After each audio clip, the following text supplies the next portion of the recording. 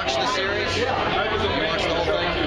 It's like a good. I think it's a good for if any other actor who sucks gets on a show, they can see it and they can go, I can get good. I can. I can always do something different. So, and I'm glad that's like. I think that's starkly there when you watch the series. Tim Gutterson laughs. Lots of laughs.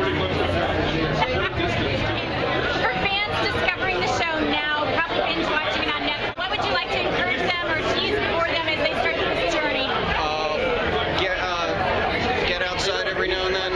Hydrate.